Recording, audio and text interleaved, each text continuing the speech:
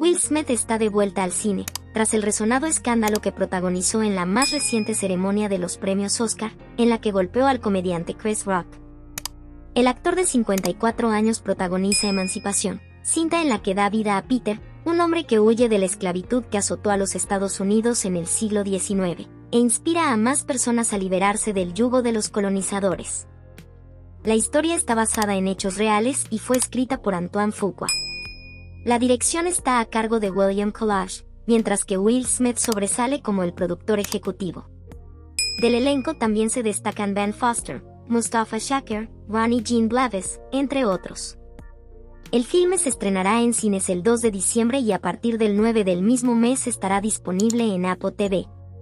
Desde ya, aspira a obtener alguna nominación en los Oscar.